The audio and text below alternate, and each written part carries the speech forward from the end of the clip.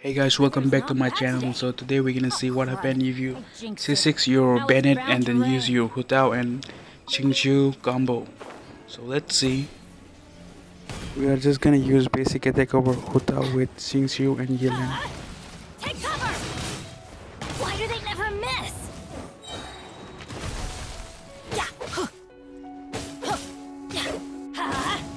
I'm going in. Let me leave you a verse. Sorry, children.